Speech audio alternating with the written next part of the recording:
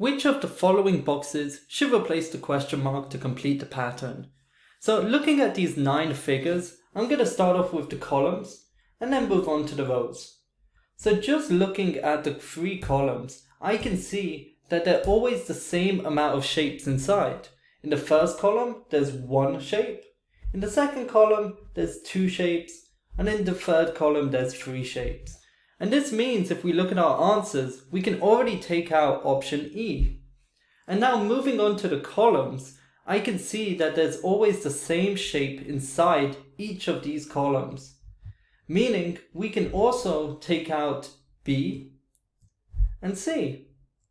And then furthermore, looking at the colors, I can see inside each box individually, there's always the same color, if it's white or if it's black.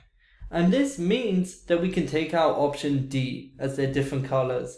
And now looking at our answers, we don't need to look at what the middle one could be because there's only one option. Option A, which is our final answer.